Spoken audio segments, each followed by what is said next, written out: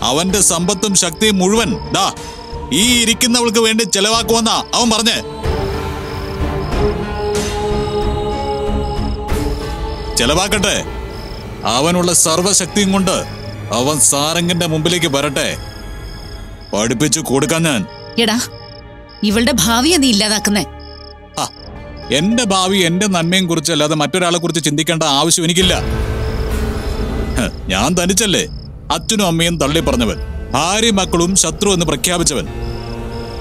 മൈഥിലിയെ വാഴ്ത്തി പാടുന്നതിനിടയിൽ താരങ്ങിനെ തള്ളി പറയാത്തവരാരാ അമ്മയ്ക്ക് എന്നോട് ചോദിക്കാനുള്ള ചോദ്യത്തിന് കൃത്യമായ ഉത്തരം ഞാൻ തരാം.